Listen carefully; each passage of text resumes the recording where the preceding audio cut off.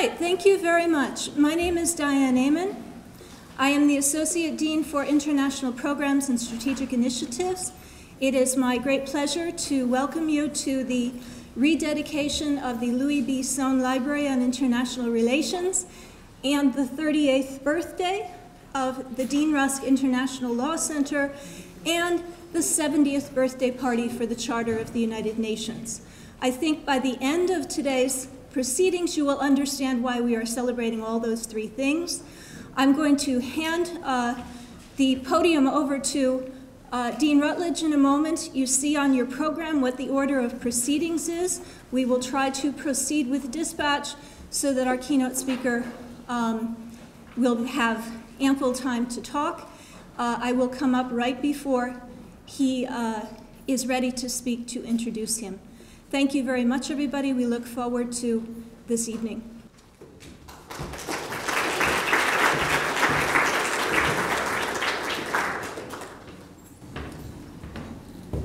Um, good afternoon, and thank you all for coming. Um, I'm Bo Rutledge, and I'm the Dean of the University of Georgia School of Law. And it's with great pleasure that I welcome you here as we rededicate the Louis B. Sohn Library and celebrate the 38th birthday of the Dean Rusk International Law Center on the, he, on the heels of United Nations Day.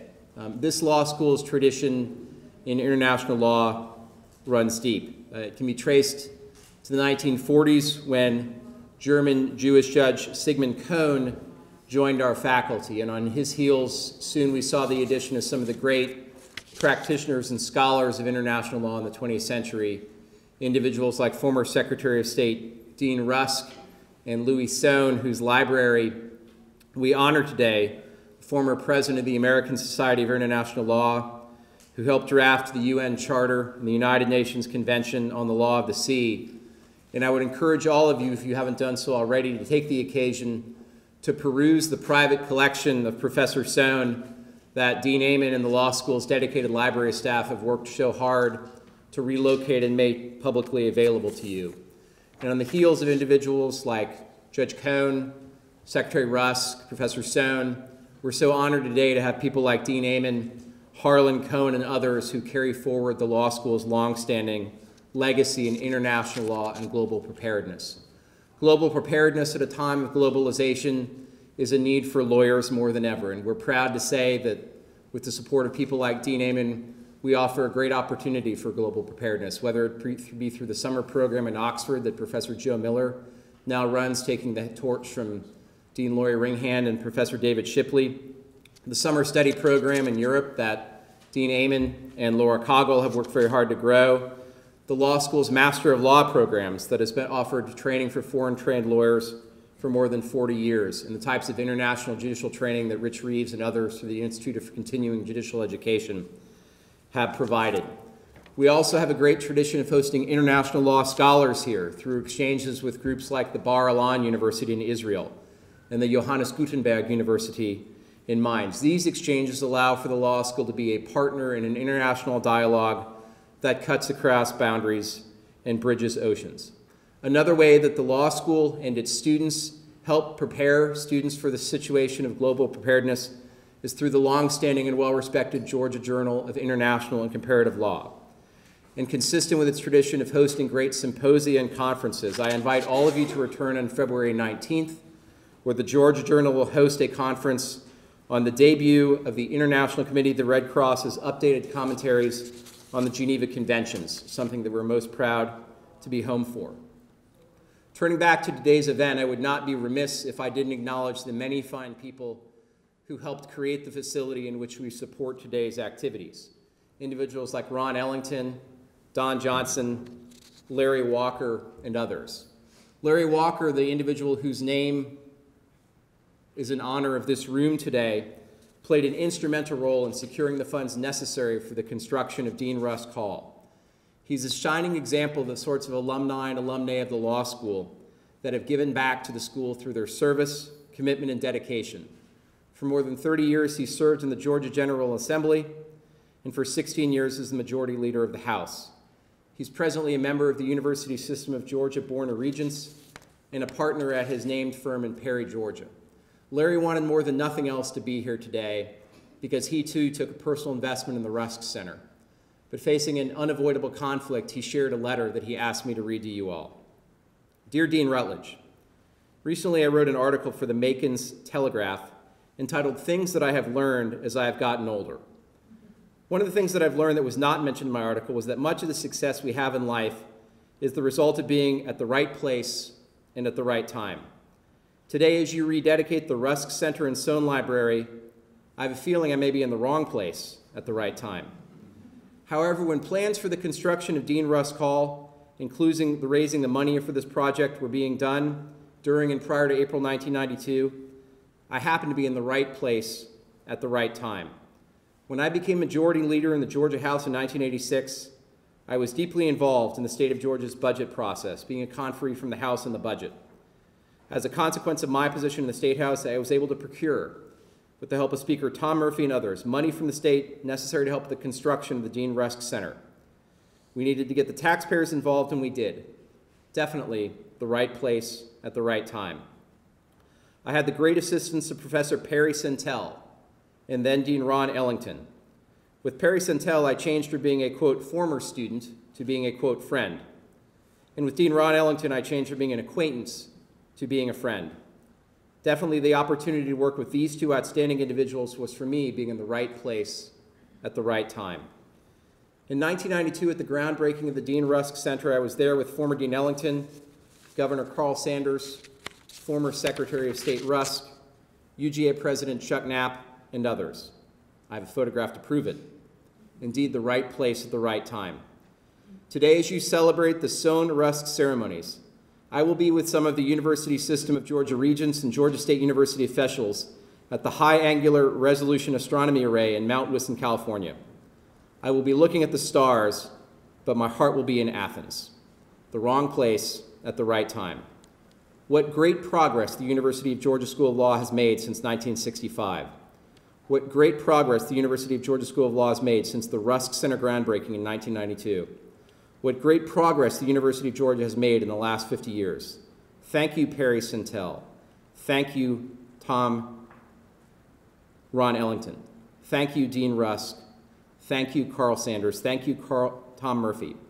And thanks to so many others. I am glad that all of you were in the right place at the right time. Sincerely, Larry Walker. Now I'd like to add my thanks to Larry's for those of you who, who played a tremendous role in the center. And at this moment, I'd like all of you to join me in a round of applause for Associate Dean of International Programs and Strategic Initiative, Diane Amann.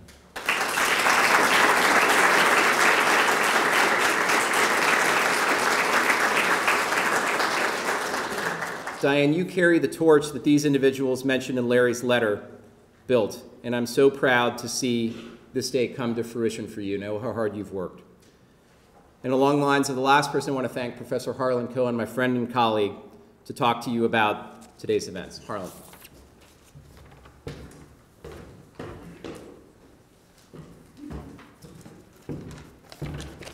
Well, welcome. And first, I'd like to add my thanks to those, first to Dean Amon for putting together this extraordinary event that celebrates our past, present, and future, to Dean Rutledge for the continuing support of the law school for international programs, and to all of you our distinguished alumni, guests, and students who, through your collective dedication, make the University of Georgia a center for international law in the world. It's my great honor to be able to celebrate one of the founders of international law at the University of Georgia, Sigmund Cohn. Uh, and although Sigmund Cohn retired in 1964 and passed away in 1997, 10 years before I even got here, I feel a strong personal connection to Sigmund Cohn. It's not just the similarity of our last names. Um, Sigmund Cohn is known to have initiated the teaching of international law at the University of Georgia, my field, um, as well as starting to the, start, start as, starting the development of the Law Library's collection of international law uh, books and materials, something we are celebrating some of today. Um, but more than that, uh, Sigmund Cohn was the first Jewish professor at the University of Georgia, not just the law school, and as an advisor for the Jewish Law Students Association, who is a co-sponsor for this event, I, I recognize that we very much walk along the path that he has tread for us. I also learned from some of my research for today that Uh, when my former colleague Perry Sentell took Cohn's class as a student, he found, quote, Dr. Cohn to be extremely knowledgeable, extremely thorough, and extremely fast. Dr. Cohn could lecture faster than any teacher I've ever had. This sounds a lot like one of my better student evaluations. As a transplanted New Yorker, I, I can relate. But more, but more broadly, Sigmund Cohn's story is an inspiration for all of us at the University of Georgia. Uh, we should all aspire to his courage, curiosity, professionalism, and generosity of spirit and soul. But more broadly, his story is a story that's inspirational for our law school. It's a story about what our law school can be when it is its best self and what it should be in, for the future. Sigmund Cohn's story starts in 1898 uh, in a place somewhere now in Poland. After earning his Doctors of Law degree from the University of Breslau, Sigmund Cohn scored such high marks on the examinations that he was invited to take a job at the Department of Justice in Berlin and eventually was appointed as a judge in Germany. After Hitler's rise to power, Sigmund Cohn was forced from his job, and he and his family, uh, his wife Suzelle, became Suzanne here in the United States, and their two daughters, were forced to first immigrate to Genoa, Italy, where at the University of Genoa he earned his Doctor of Jurisprudence and taught. But then, when Mussolini announced that he would be adopting in Italy the same policies as the Nazis with regard to Jews, Sigmund Cohn was again forced to look for somewhere else to go. Uh, he began by looking for places in the United States that might be interested in inviting him to come teach. But given, in part, the restrictive immigration laws of the day in the United States, he had to search relatively widely and was able to get visas to places like Colombia and Costa Rica as well. It's here where Sigmund Cohn's story intersects with another important member of our law school history and community, Harold Hirsch. Uh, Harold Hirsch Hall uh, is the building right down there. It's where I have my office. And in 1932, it was dedicated in honor of Harold Hirsch, then a very famous general counsel of Coca Cola, um, also a former player on the Georgia football team. Um, but importantly for this story, a prominent member of the Atlanta Jewish community who by the late 1930s had become very involved in refugee work. And he heard the story of Sigmund Cohn and heard that Sigmund Cohn had an invitation to come speak at, to come teach at the University of Georgia, but that the University of Georgia, under state law at the time, could not pay him because he was not a citizen. In a great act of generosity, Harold Hirsch agreed to pay Sigmund Cohn's salary for two years, which then allowed him to come and immigrate with his family. Unfortunately, Cohn and his family were not able to actually thank Harold Hirsch themselves, as Harold Hirsch passed away three weeks after they arrived in Georgia. Um, after they got here, Sigmund Cohn started by teaching in the language departments, uh, teaching German, Italian, and after he taught it to himself, Spanish. Um, but he also uh, taught some courses in the law school, in particular comparative law, and as it would have it, showing how deep these connections run and how important all of these uh, intersecting lines go. I received a note just the other day from a prominent international lawyer who informed me that her mother, who was a UGA law graduate, a class of 1941, remembered very fondly taking comparative law classes from Sigmund Cohn. Uh, eventually, in 1944, Sigmund Cohn joined the faculty of the law school, in which role he was able to enrich not just the law school, but the faculty and his students.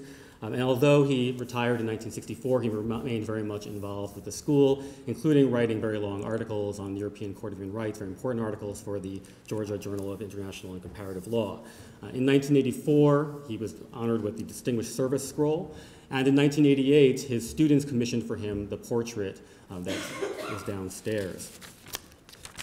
After his retirement, he very much in, remained involved with the faculty and the students, um, and, and with community in general. Uh, he remained very much a mentor to many people here. Uh, the word most commonly used with regard to him that I've found is beloved, uh, which seems apt. And it's been my great pleasure to be able to hear about Sigmund Cohn and the legacy he left from many of my colleagues and former colleagues. It is our special honor to be able to try to continue to live up to the ideals he has set. Um, and with that, I will turn things over to one of our distinguished alum, alumni, Ken Dious.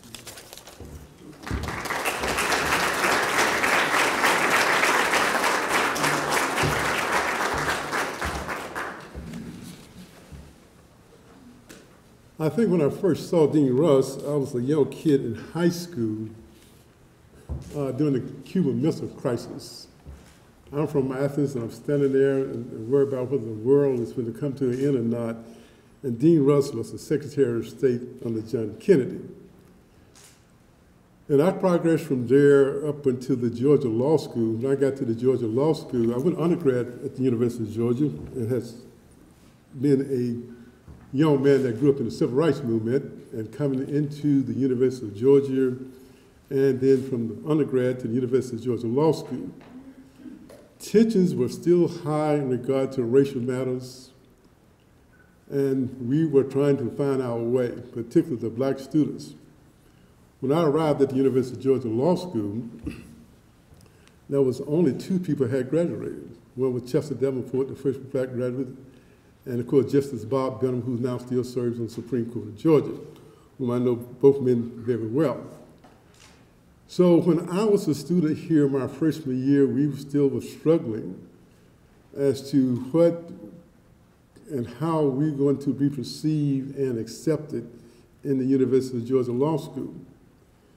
And while I was here during my freshman year, I heard rumors, one of my uh, classmates told me, say, hey, they're going to bring Dean Russ to Georgia's law school, they're going to build um, something in his honor. I said, they're going to bring Dean Russ to the South? I, I, I don't believe that. I just told him, I simply do not believe that because this center was acceptable to any university in the country. Because Dean Russ had been one of the most outstanding Secretary of State that we ever had. And everybody knew his views on race relations. I said, I don't believe they're going to bring Dean Russ here. But by lo and behold, it did happen. And when he came in, he was a soothing effect in regard to Georgia Law School and race relations.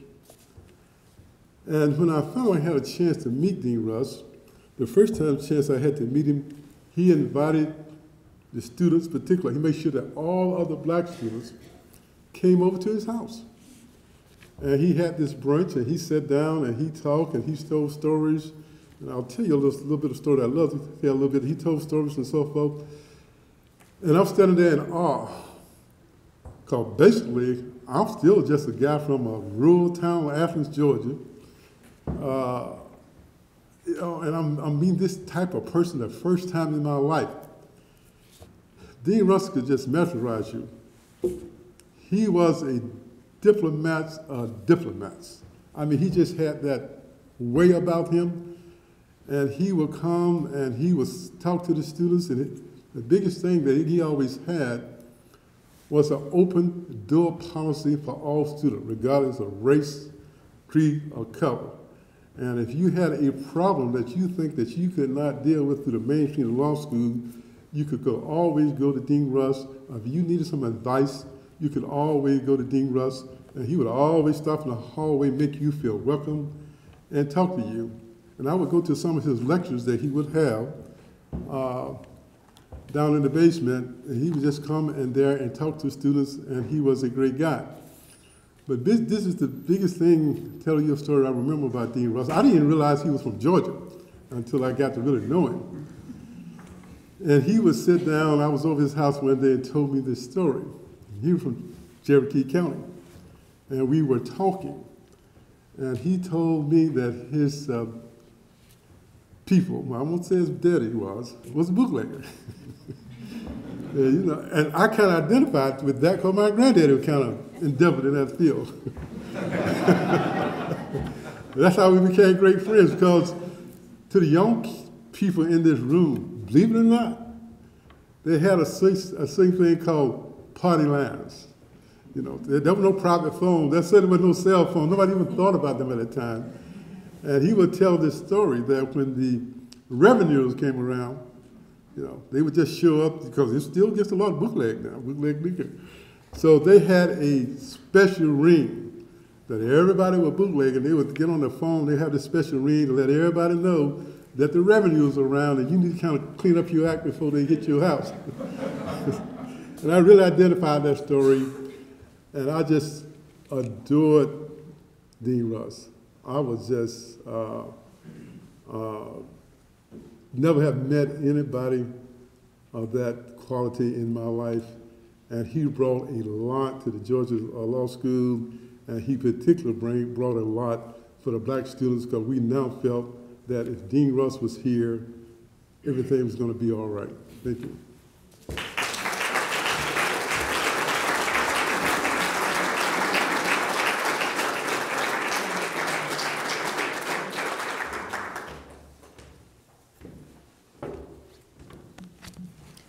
Good afternoon. I'm Dorinda Dallmeyer, and for 21 years I worked at the Rusk Center. But today I want to speak about something else. It was my great honor to be asked by Professor Sohn to speak at the first dedication of his library in 1997. So I want to share those words again with you today.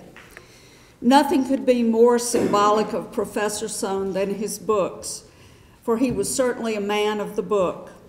Those of us who had the great good fortune to cross paths with Professor Sohn found him to be an unequaled mentor, colleague, and friend.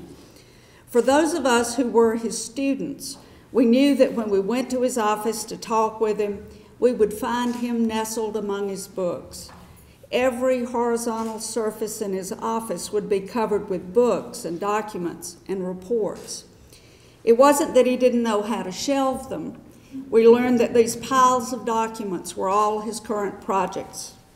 To answer our questions, he would zero in on a stack and give it the practiced eye of a stratigrapher and select a document that was directly pertinent to the problem we brought with us through the door. As I said, all the horizontal surfaces were occupied except for one. There was always a chair open and available for his students. Professor Sohn amazed us with his recall of documents which serve as the foundation of international law. He was a person with one foot firmly grounded in the works of those who'd gone before us.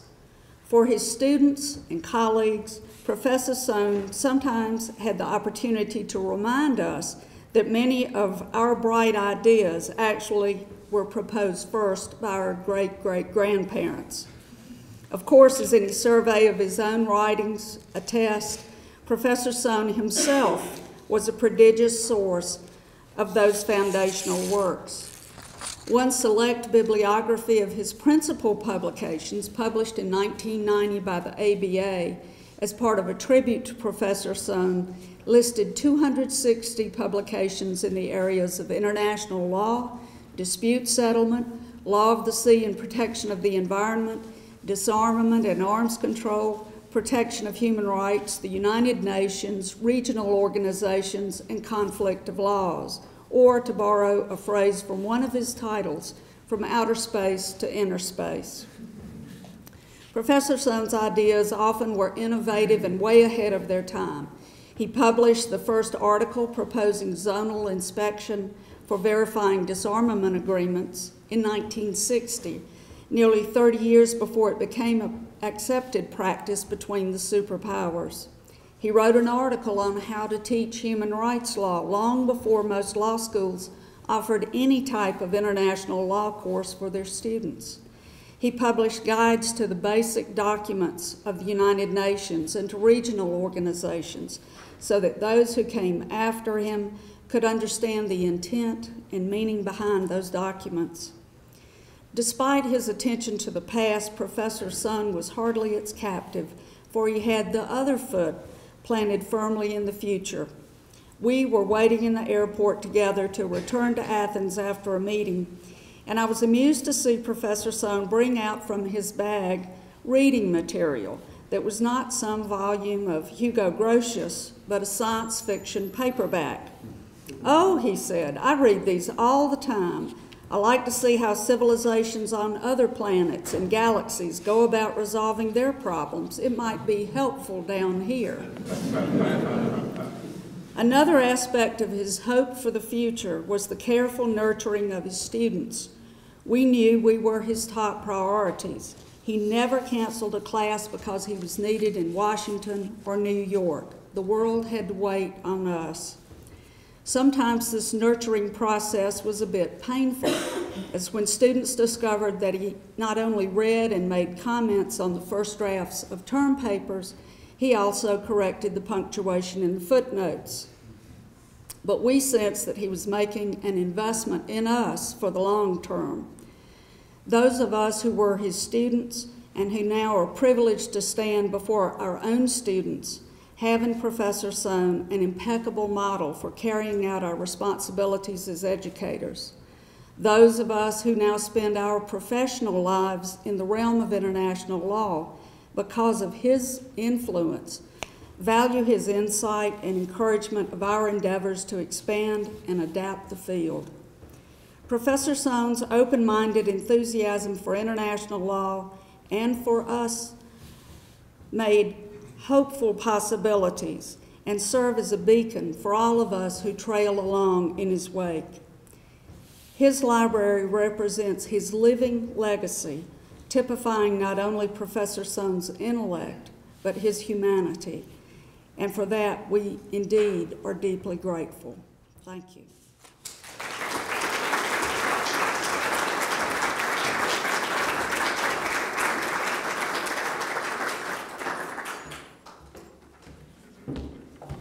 Thank you, Bo, Harlan, Ken, and Dorinda for those really wonderful comments and tributes.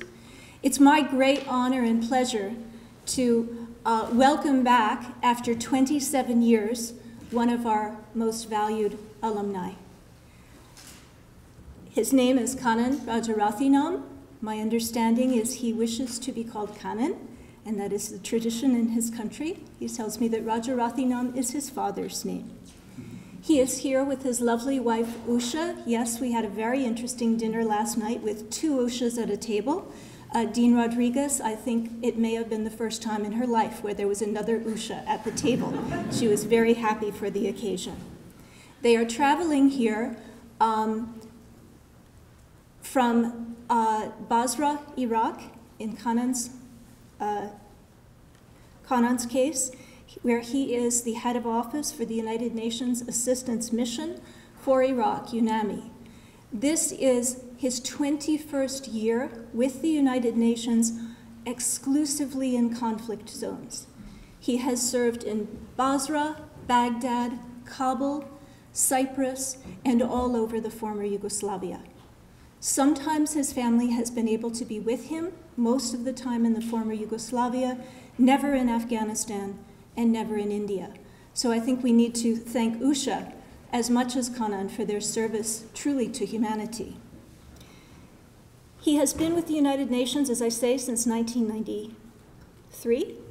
He has served in several capacities and performed mediation and negotiations functions. As a guest faculty member, he has taught international organizations at the University of Madras, which is one of his alma maters in addition to not only Georgia Law, where he received his LLM degree in 1988, um, but also from Tufts University, from which he received his doctorate. He has been a junior professor of law at Madras College.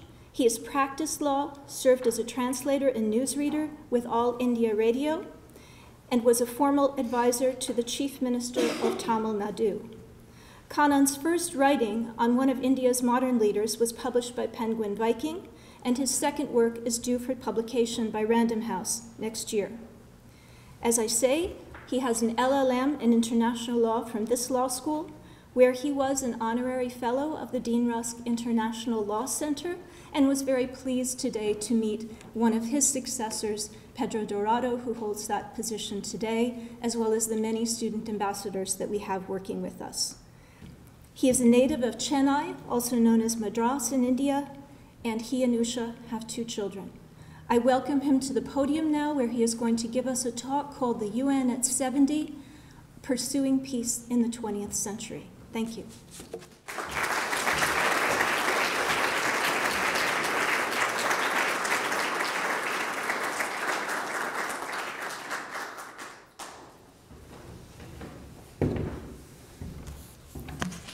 Thank you, Diane, for that very uh, uh, generous um, and most kind words.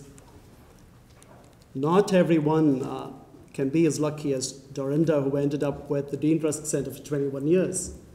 Others, like me, spent 21 years with the UN.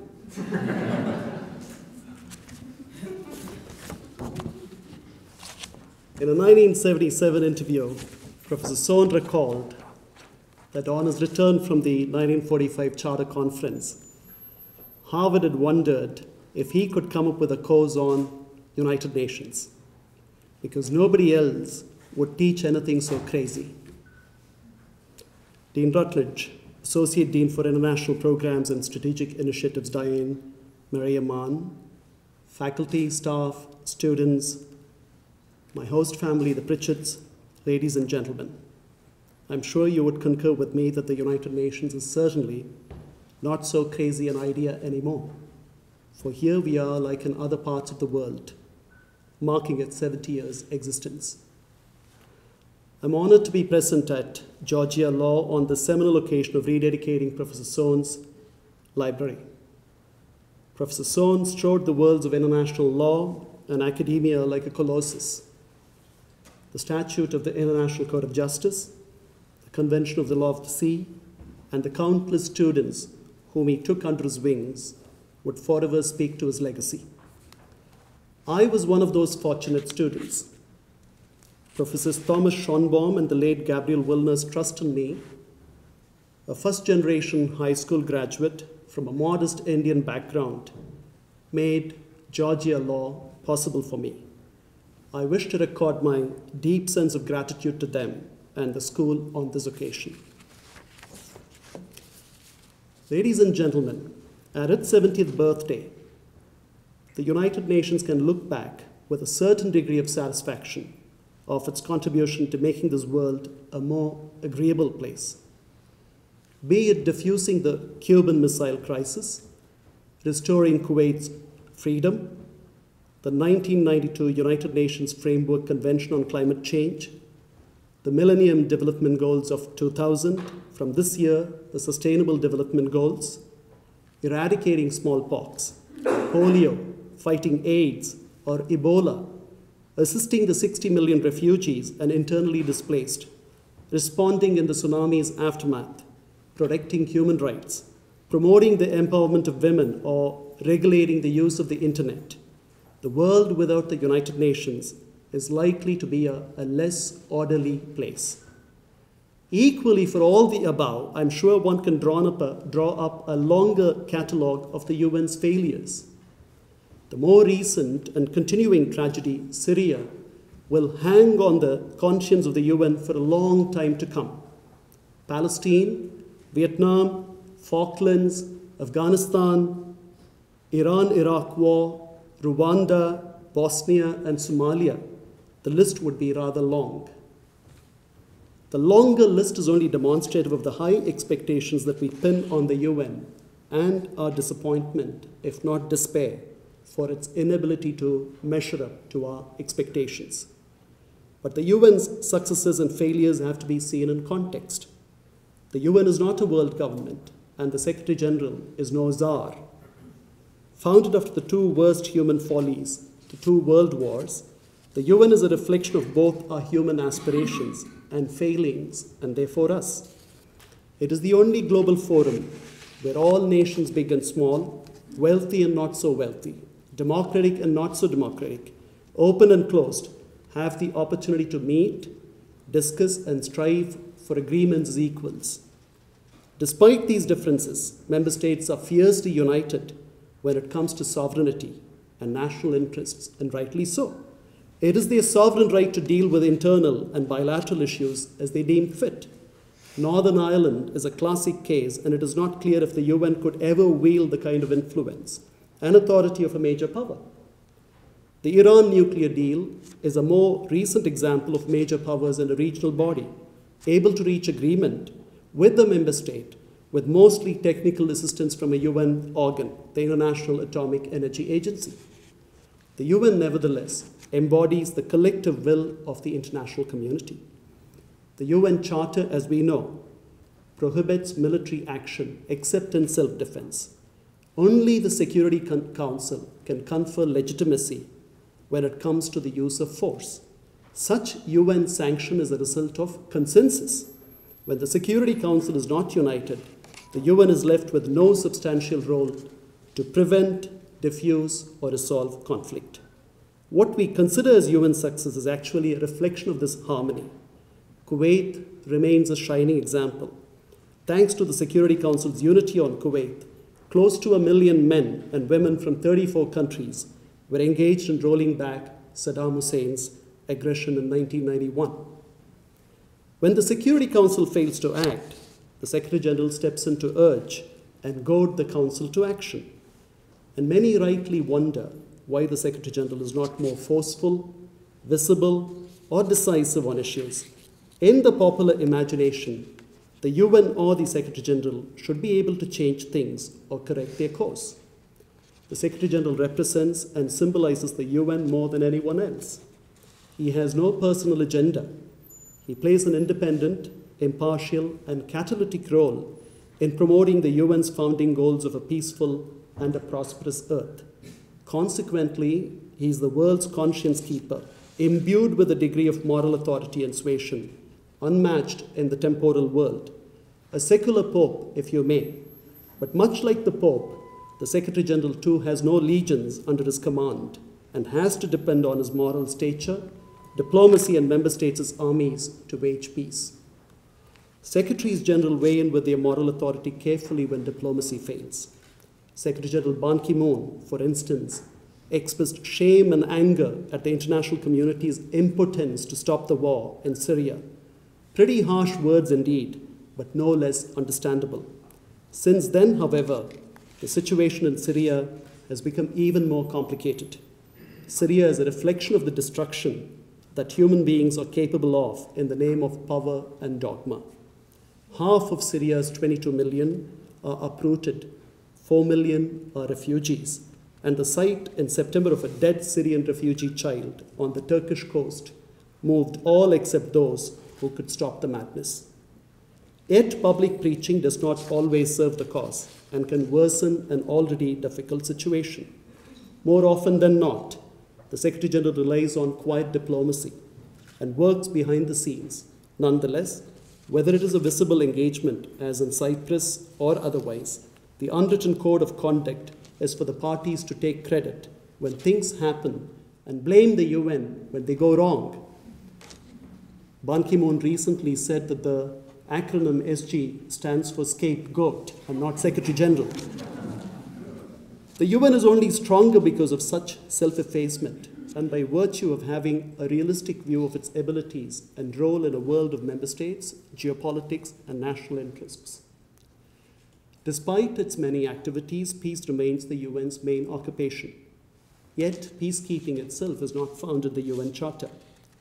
Whoever thought of it understood that one could not pursue peace in the midst of active hostilities. Peace was a prerequisite, and it had to hold. What better than the presence of unarmed soldiers drawn from elsewhere, and therefore impartial, to serve as a deterrent and incentive to the parties to hold fire? Peacekeeping was turning soldiering on its head. Trained to fight wars, soldiers in their new roles were to campaign for peace by mainly monitoring, reporting, and engaging in small confidence building roles. The first blue helmets or peacekeepers were ironically a consequence of a UN decision in 1947 favoring the partition of Palestine. Soon, war broke out between Israelis and the Arabs. Sweden's Count Folke Bernadotte, the first mediator in UN history, was to use his good offices among others, to promote a peaceful adjustment of the future situation of Palestine. Good offices and facilitation would become the soul of UN mediation. Additionally, the Count was to supervise a ceasefire with the support of a group of unarmed military observers. United Nations Truce Supervision Organization, UNTSO, or the UN's first peacekeeping mission, was born. Kashmir followed, and since then, the UN has deployed 68 peacekeeping operations, with 56 of these since the end of the Cold War. Three core principles guide UN peacekeeping impartiality. The UN is not supposed to take sides. Consent of the parties. No consent, no UN engagement. Non use of force. The UN will not use force except in self defense. Needless to say, these core principles have been seriously tested over the years as peacekeeping has come to encompass enforcement, humanitarian missions, and the protection of civilians. Impartiality was tested early on when Count Bernadotte was assassinated in 1949. The The death of the first peacekeeper made it painfully clear that no amount of UN impartiality would be sufficient in the eyes of the parties, and that UN peacekeeping risked the peril of being evaluated subjectively and even demanding the ultimate sacrifice. Eleven years later, in the 1960s, the UN itself would forsake impartiality in the Congo to protect Congo's territorial integrity. With the Count's death, his proposals and the early chances of a Middle East settlement also withered away.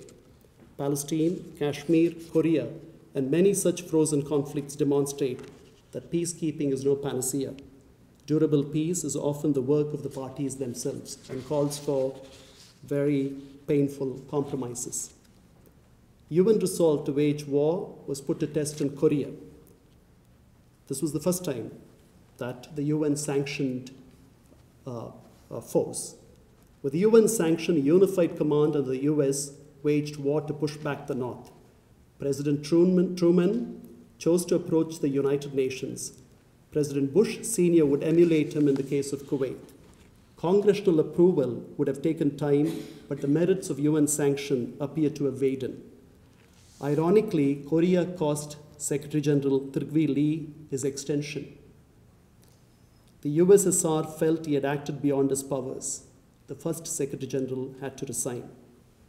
The Korean War made it clear early on that the UN and its Secretary General were only as good as the P5 wished them to be. 44 years later, in 1996, Secretary General Boutros Boutros Ghali would experience a similar fate, only this time he would have displeased the US. Is consent a necessarily good thing at all times in peacekeeping? The Middle East would reveal that sovereignty and consent, consent perhaps should be second only to peace. Egypt's nationalization of the Suez Canal set off hostilities in the 1960s. Some 6,000 lightly armed peacekeepers under the UN emergency force interposed between Israel and Egypt, deploying on the Egyptian side to maintain the truce. Israel had withheld consent for troops to be deployed on its soil. So the troops were only deployed on the Egyptian side. The Suez Canal became operational again. In 1967, however, Egypt too withdrew consent, and the force was withdrawn, even as the Six Day War in the Middle East between the Arabs and the Israelis happened. The presence of the UN forces had hitherto helped maintain a peace, however surface deep. The hallowed principle of consent had hurt the larger goal of keeping peace. More recently, in 2008, Eritrea's non cooperation would end the mission there. In retrospect, Eritrea's peace and development would have been better served if the UN had continued. In 1960, Congo would test both the principles of impartiality on the non use of force. Abandoning impartiality, the UN took up arms against the Katanga secessionists under the foreign mercenaries to help maintain Congo's territorial integrity. Also, in a first, civilian personnel, numbering 2,000 at its height, were involved in helping resume essential services. Authoritarianism Weak institutions, insurgency, and the fallout of Rwanda saw the UN return in 1999 to the Congo. In a historical new and to some extent deja vu, the Security Council in 2010 provided for the creation of a force intervention brigade to carry out targeted offensive operations to neutralize insurgents, among other things, in protection of civilians. Clearly, peacekeeping is no more limited to Pacific Chapter 6 operations and has evolved to, among others, protecting civilians. How did we reach here? After the end of the Cold War, a rash of inter civil wars would break out, and the humanitarian dimensions of these conflicts would challenge all core principles dear to peacekeeping. Also, around the same time, a newer player was bearing pressure on the international community. No more could decision making isolate itself from popular sentiments for cable television had revolutionized the way the world obtained news. Instant and vivid, it brought news straight to one's living room. Thus, television images of starving children in Somalia, where 3,000 were dying daily, and skeletal Bosniak men in Bosnian Serb camps, moved the world's conscience and the Security Council to mandate humanitarian intervention. However, Somalia was lawless and Bosnia was in the midst of a civil war. Without the member states' willingness to take higher risks, these humanitarian interventions were destined to fail. Somalia soon turned ugly. Images of a dead US soldier being dragged on the streets of Mogadishu ended the Somalia experiment in 1994. That same year, Rwanda happened. The UN had not just failed to foresee what was coming there. Worse still, it abandoned thousands of Rwandese who had sought its protection. The next year, Bosnia took place. There, thousands of young, unarmed men were murdered in a UN safe area. The UN and the larger humanity had awfully failed. These setbacks introduced a huge credibility crisis to peacekeeping. Clearly, no more could the UN afford the luxury of impartiality if it had to save civilians when the state was either unable or unwilling to protect. The low moment for the UN and its humanitarian values led to the responsibility to protect doctrine, which proclaimed that only sovereignty, well exercised, deserved to be respected.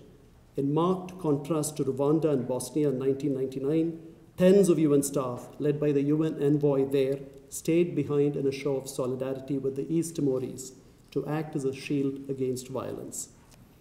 The principle would see the UN stationing, sanctioning military action in Sierra Leone and in Mali on behalf of the government. If those were a government unable, in Libya, the UN felt the regime was unwilling and made explicit, reference to the Libyan authorities' responsibility to protect. Days after the Security Council authorization for all necessary measures, NATO planes began to strike at Gaddafi's forces. The rest is well known. In southern Sudan, as we speak, 200,000 have taken refuge from the civil war in UN premises. Peacekeeping will continue to face further challenges. I foresee two such challenges in this century. The first is the threat of global terrorism. The second is the threat to peace if we fail in our mission towards a sustainable planet. First, let me talk about terrorism. Today, more than the threat of one nation invading another, not that, that these are not taken place, the threat of intolerance induced terrorism is the most formidable danger facing us and the generations to come. The kamikazes were honorable. They gave up their lives to take on enemy targets, and yet they were an exception. Until the last decades, and especially till 9 11, most assassins wished to save themselves even while they wished death for others. In 1991, a suicide bomber killed India's former Prime Minister Rajiv Gandhi and 14 others.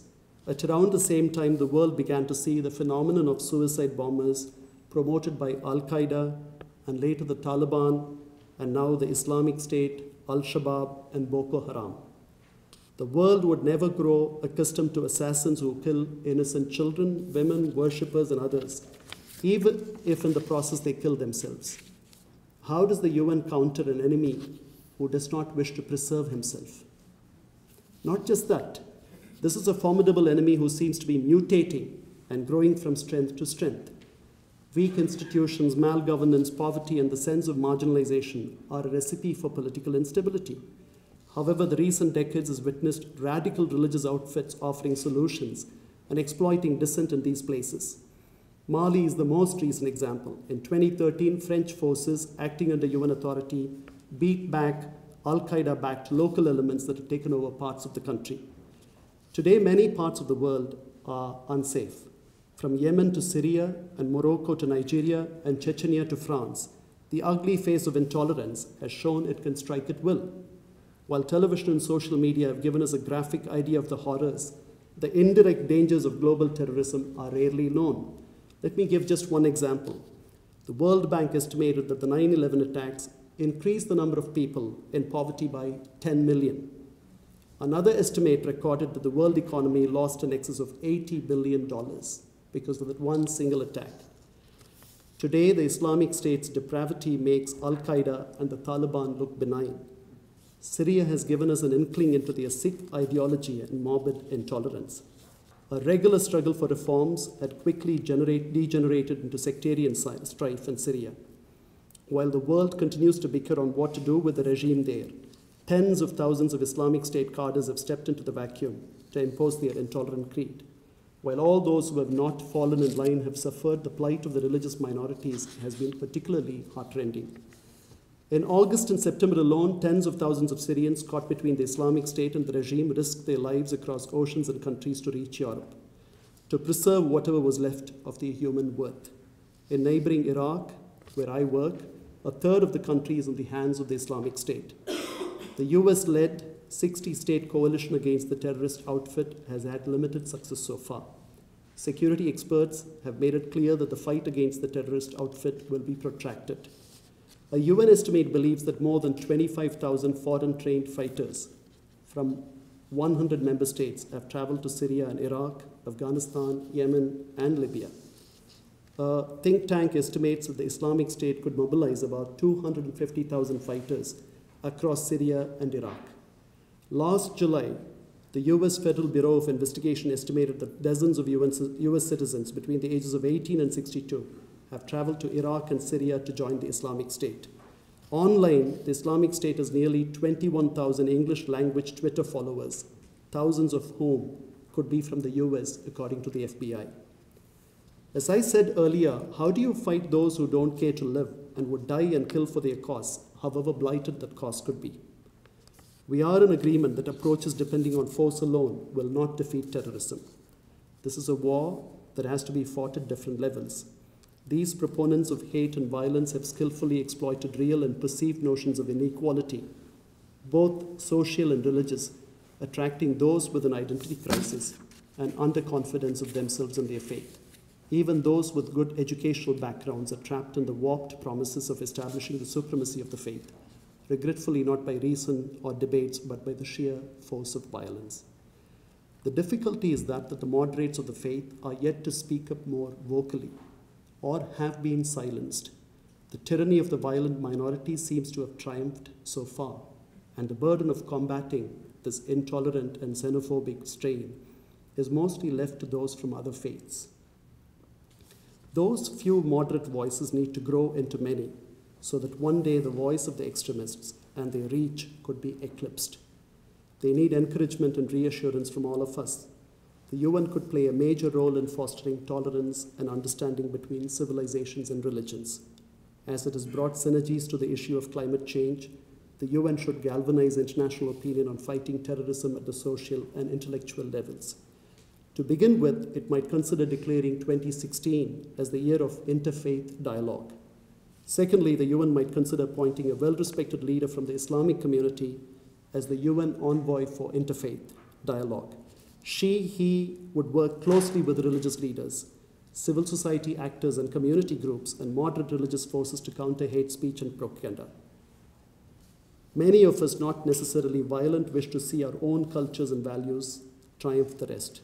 The UN could play a role in making us all understand that such thoughts need not descend to violence and hate.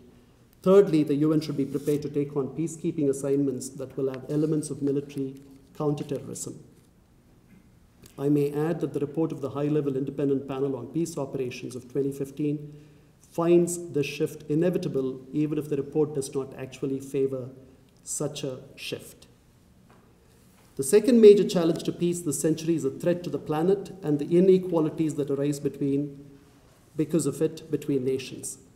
The unacceptable levels of carbon emissions will continue to bring cataclysmic changes and consequently food and water insecurity.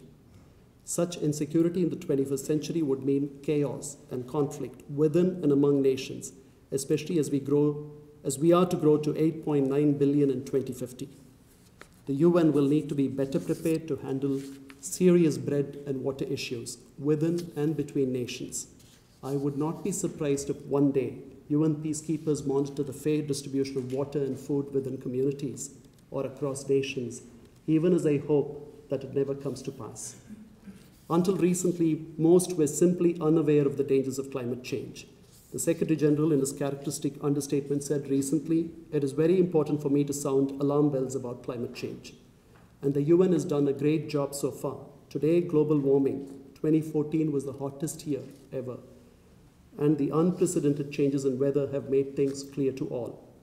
200 nations are to meet in Paris this December to make binding commitments to keep global temperature rise under 2 degrees Celsius above the pre industrial levels. Most developing countries, and especially India, need help in balancing growth with the environment and making development sustainable.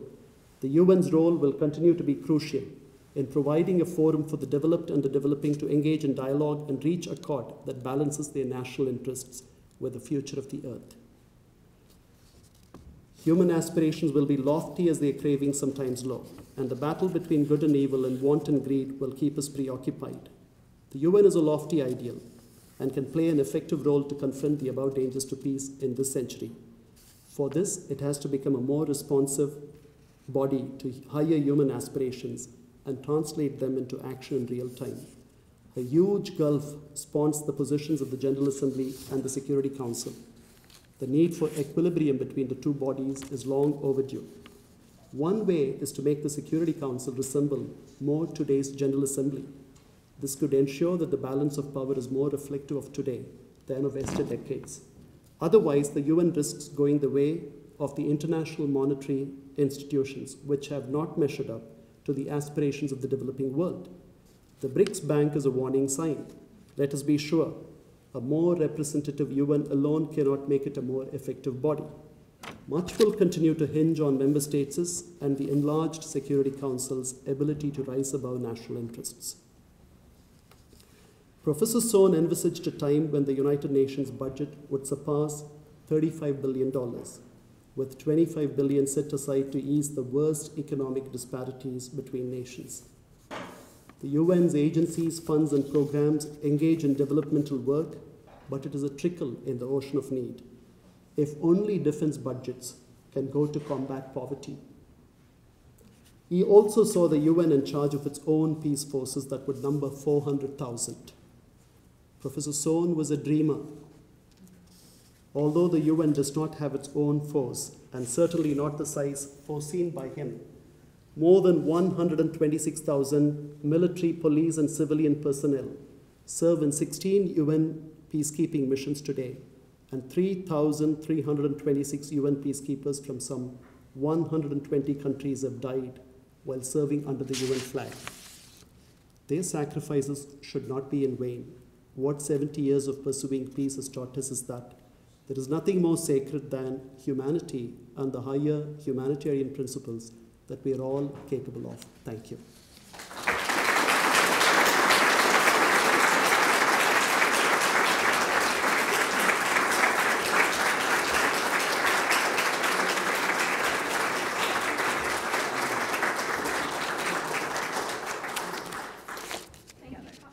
Anyone have anything?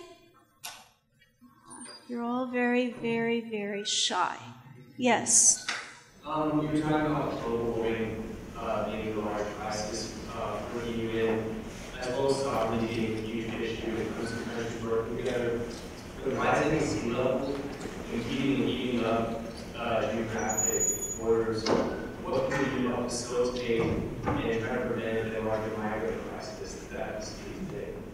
I think we'll have to stay the course on um, uh, climate change. The UN has done a, a very good job. The different uh, um, international um, uh, conferences that the UN had uh, uh, organized and then brought these different major powers together. I think it'll call for a lot of painful compromises from the West, in particular uh, the most industrialized countries, and it will also call for some um, realistic appreciation from the developing world uh, to what they can do in the name of development and what they can't do.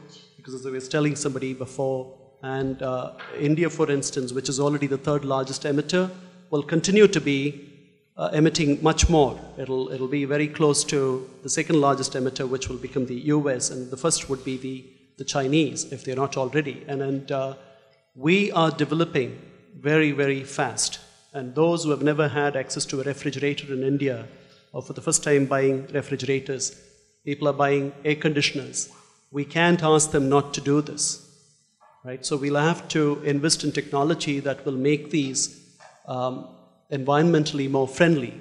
That technology is going to cost us a fortune. Um, so India would not commit to this, and, and so are the other developing countries, which will not commit to this. So it's going to be a a very difficult and uh, a very uh, um, a contentious issue between the, uh, the South and, and the, the North. But, uh, but I think we will, we will figure out because the, uh, the dangers that we confront um, will not, uh, you know, we'll have to stand together as humanity to, to rise above it. Otherwise, we may not be there. Um, even this temperature rise of a one degree centigrade will, will destroy 38% of India's agriculture. So, so we, we, are, we are blithely unaware of the dangers of, uh, of uh, global uh, warming and uh, carbon emissions. Thank you, Kannan, for a really inspiring um, and encouraging talk. And I say encouraging in a way that may make you um, wonder, because much of your story was not happy. But the encouragement is I feel more inspired to do more. And so I think sometimes by talking about what's happening and what has been the struggle so far, I'm hoping that you will um, create some future Kannans in this class, in this room today. It's my pleasure to say a couple of closing remarks before we go downstairs for the party. I want to give an incredible and very special thanks to the Alexander Campbell King Law Library of the University of Georgia School of Law. Carol Watson, the leader of that unit, could not be here today, but many of her staff are here. Could they please stand?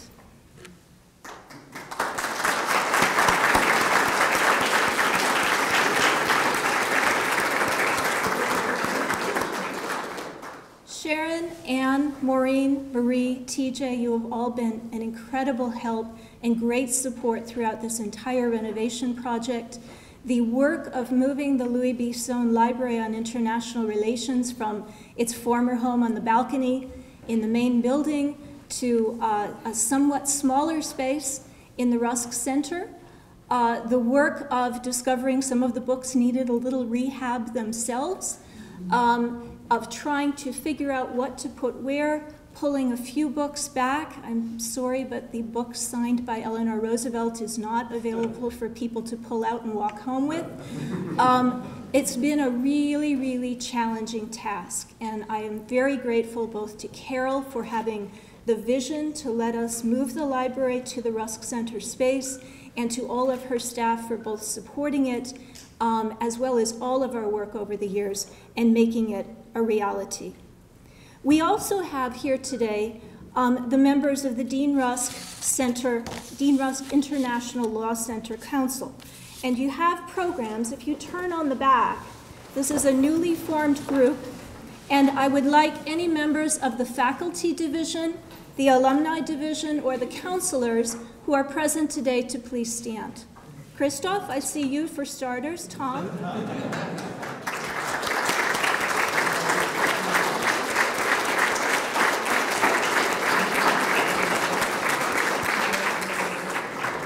Thank you so much for being here and for you, your support. We are um, very grateful and really, really uh, lucky to have so many faculty members whose work has either uh, core international uh, content, as with Professor Cohen, from who you spoke, uh, from who you heard earlier, as well as work in the transnational area, people like Larry Thompson, who work on Business Crimes, Foreign Corrupt Practices Act. Many, many, many of you are in the room, and I appreciate you for all that you have done for us. The alumni division includes people like Charlie Cunnicutt, the chair, who stood for a while.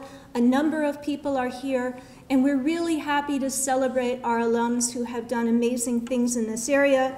The folks who are here, you see their name. Some of the folks who couldn't be here include uh, the Deputy General Counsel of the U.S. Department of Defense in Washington, who is the leader of the International Law Department at DOD, Jason Carter, um, who uh, has just accepted our invitation and it coincides with his taking over of the leadership role at the Carter Center as the chairman of the Board of Trustees.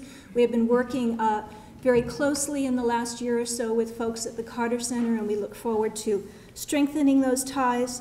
Ertharin Cousin, who may be about number three on the hierarchy of the United Nations. She is the executive director of the World Food Program. And I could go on, but I know you're hungry and thirsty and a little bit warm. I'd like to now ask the staff and the student ambassadors of the Dean Rusk International Law Center to please stand.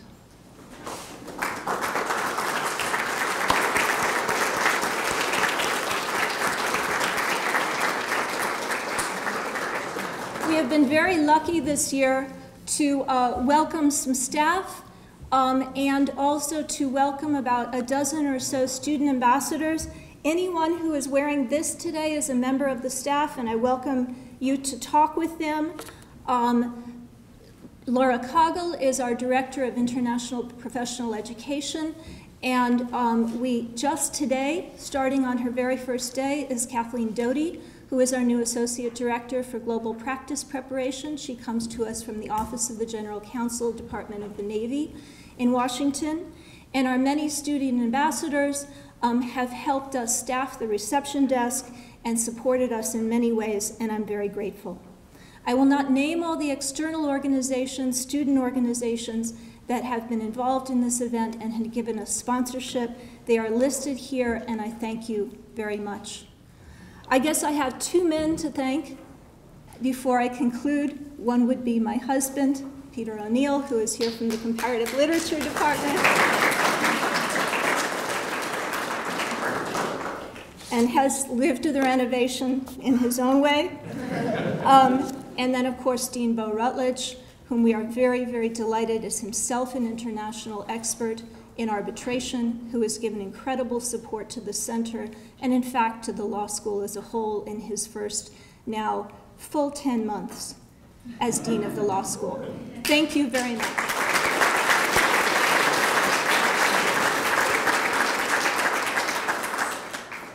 With that, I would like you to welcome you to go downstairs where Lisa Mathis has set up one of her wonderful receptions, and we will uh, celebrate the center, have a little bit of refreshment and conviviality. The center will be opened, and you are welcome to tour the renovation at your leisure. Thank you very much.